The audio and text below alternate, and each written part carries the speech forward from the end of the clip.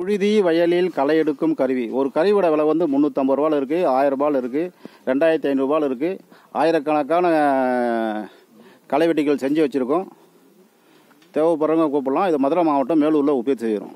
நன்றி வணக்கம்.